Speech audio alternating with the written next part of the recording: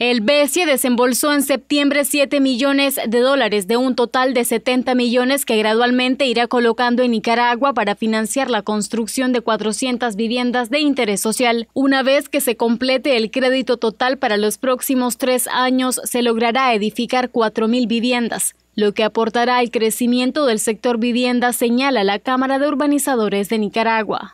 Debe ser para proyectos de interés social, eh, para casas unifamiliares que no superen el valor de venta de los 40 mil dólares, entre 30 mil y 40 mil dólares tendrán un beneficio de la tasa de interés, un subsidio de la tasa de interés del 2,5%.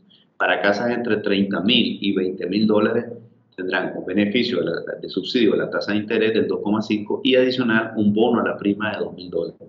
Y para casas entre los 18 mil dólares hacia abajo tendrán un subsidio de la tasa de interés del 3,5% anual y también un bono a la prima de hasta 3.500 dólares.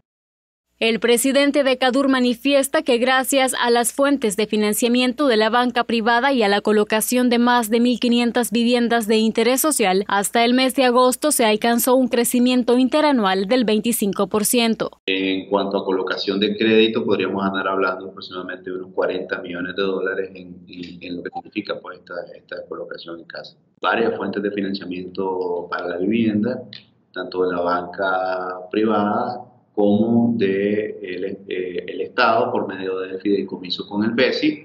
Digamos que ya la, eh, el, buen manejo pues, de la pandemia que existe a nivel nacional y a nivel mundial gracias a la vacunación y que ya el tema de la pandemia pues no es un riesgo fuerte en eh, que afecta pues el bolsillo de la, de la familia así como también pues la salud. En 2021, Cadur cerró con cerca de 1.800 viviendas, por lo que este año espera superar la cifra en un 50%. Cabe destacar que el primer fideicomiso por parte del BESIE para la construcción de viviendas fue desembolsado hace más de cuatro años por un monto total de 50 millones de dólares. Anduriña Ortiz, Voz TV.